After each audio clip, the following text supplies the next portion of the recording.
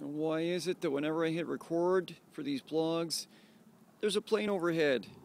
Only when I hit record, no other time. Today's no exception.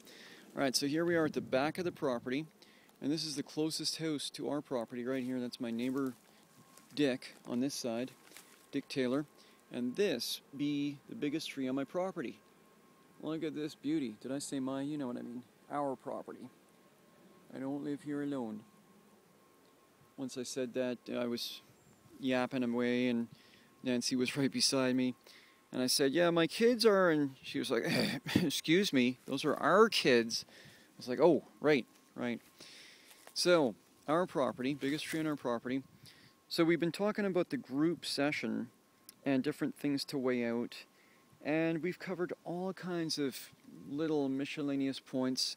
So, as you can see, there's um, there's so many decisions to make that can make or break uh, success every time you run a group session. And after all these years, I still really, really, really enjoy the challenge of the group session and getting clients, um, you know, doing the off leash and uh, the heavy distraction, the hand signals, distance commands after 12 short sessions.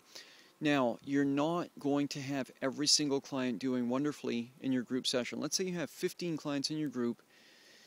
You might have, you know, I'm just throwing this out there, there's just random numbers, but on average, I'd say you're going to have three or four real hot doggers that are just cleaning up. You're going to have a, a, the majority of the group doing uh, middle of the road, and you're usually going to have um, one or two clients that are struggling.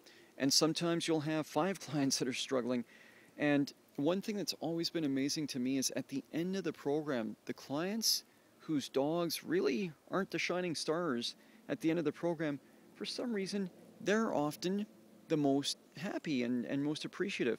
I've never been able to figure that out, but um, you need to get feedback after every group session. You need to have clients fill out um, a, a, very comprehensive uh, feedback form and ask them the, the point blank questions. You know, were you satisfied with the res- results? What can we do to improve? Um, what did you think of the training venue? Did we fulfill all our uh, promises and commitments to you? And only then will you find out um, what, where you need to improve. And of course, offer the clients the choice of making those feedback forms anonymous. All right, that is it for today's topic. Over and out.